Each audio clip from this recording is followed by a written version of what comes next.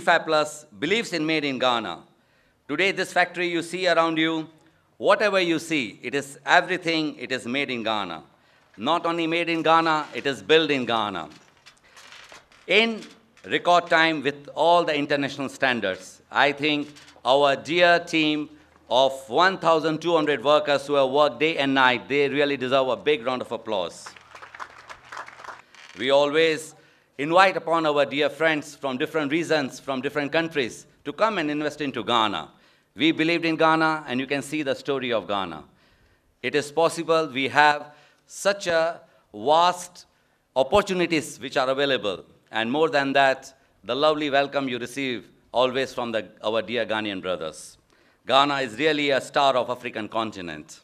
Today we see that our energy tariffs and water tariffs, they are really comparatively very high